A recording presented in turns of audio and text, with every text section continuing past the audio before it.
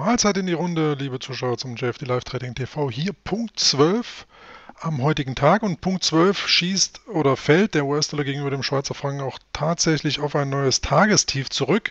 Hier hatten wir just ähm, den Beginn der aktuellen 12 Uhr Kerze und es deutet sich hier jetzt eben aufgrund des aktuellen Preisverhaltens eine weitere Schwächephase an. Wir haben heute zudem am Dienstag ähm, 49 Prozent positive Schlusspreise. Also das ist der einzigste Tag, wo der US-Dollar gegenüber dem Schweizer Franken rein statistisch ähm, eine gewisse Schwäche aufweist und mit dem just erzielten neuen Tagestief deutet sich eben hier eine weitere Schwächephase an. Zudem, wir sind 37 Pips bislang gelaufen. Im Schnitt hat das Währungspaar hier mit Blick auf die letzten 12 Wochen sogar 99 Pips vor sich, beziehungsweise hier mit Blick auf die letzten 14 Tage sind es dann in Anführungszeichen nur 65. Aber neues Tagestief ist generiert. Wir sind unterhalb des Pivot Points und haben hier oben im Bereich 0,9692 auch einen Bereich, der hier, das schauen wir uns gleich auf Tagesbasis an, durchaus auch ähm, sozusagen abfedernd wirkt im negativen Sinne.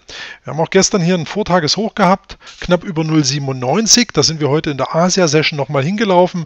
Dann der ganze Versuch hier nochmal im frühen Handel das Niveau nochmals zu überwinden. Hier sozusagen eine kleine Top-Bildung im M15-Chart. RSI ist hier auch schon negativ divergierend sozusagen gewesen. Und das sind natürlich jetzt hier Ausgangs- äh, Situationen, die grundsätzlich gerade mit dem just neu markierten Tagestief, jetzt versucht er sich wieder ein Stück weit zu etablieren, aber es deutet darauf hin, dass der US-Dollar gegenüber dem Schweizer Franken das Vortagestief in jedem Fall nochmal ansteuern kann. Das wäre das Niveau von 0,9643. Die Average True Range befindet sich dann im Bereich 0,9639. Äh, also summa summarum vom aktuellen Level aus gute 30 Pips denkbar, roundabout.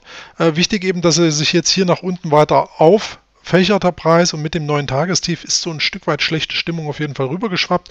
Wir haben heute aus den USA auch noch einige Daten, ähm, Konjunkturdaten zu erwarten. Nichts wirklich weltbewegendes, aber das kann natürlich den US-Dollar hier auch immer wieder treibend beeinflussen. Letztlich unterhalb des Pivot Points bleibt die Intraday-Situation eher bärisch ausgerichtet und wenn wir jetzt mal auf den Tageschart schauen und hier auch das Niveau von 0,9692 in Augenschein nehmen, dann sehen wir, dass diese Horizontallinie, diese rote hier, während des gestrigen Handels heute und auch in der Vorwoche hier schon ein Stück weit als ähm, Block agierte, als Aufwärtsblock.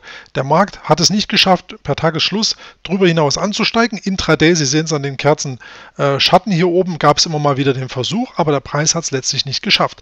Daher heute die Möglichkeit innerhalb dieses Aufwärtstrendkanals, den wir hier auf Tagesbasis sehen, dass der US-Dollar gegenüber dem Schweizer Franken durchaus ein Stück weit abdrehen kann gen Süden und ähm, neben heute der Perspektive in Sachen der Preise, in äh, Sachen der Average True Range 096 40 096 30 so rund über den Daumen gepeilt, kann es dann sogar, das wären dann hier Niveaus auf diesem Level entsprechend, hier dann sogar noch zu stärkeren Abgaben in Richtung 0,95 kommen. 0,95, 85 vielmehr, nicht 0,95, das wäre dieses Level, vielmehr in Augenschein eben hier diese untere Trendlinie des Aufwärtstrendkanals und das scheint hier doch ein ganz interessantes Level, welches der US-Dollar gegenüber dem Schweizer Franken anstreben könnte.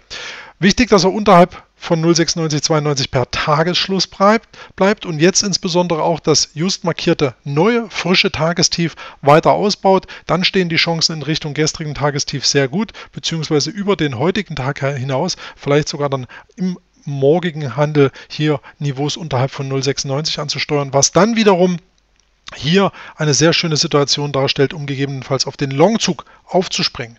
Also Möglichkeiten bieten sich. Ich hoffe, Sie haben ein Auge dafür. Ansonsten die Seitenlinie ist auch nie verkehrt, wenn man sich nicht sicher ist, was denn hier ähm, konkret passieren kann. Aktuell hier zum Beispiel sehen wir auch wieder den jüngsten Rücklauf aufgrund des neuen Tagestief, hat aber noch nichts Weltbewegendes zu bedeuten. Rein technisch neues Tief, neuer Verkaufsdruck, neue Verkaufsbereitschaft. Also wenn wir uns hier jetzt in der 15-Minuten-Kerze nicht weiter nach oben etablieren, sieht das eigentlich ganz gut aus, dass wir hier eine weitere Schwäche sehen könnten. Warten wir ab, was passiert. Ich sage erstmal danke fürs Einschalten, liebe Zuschauer.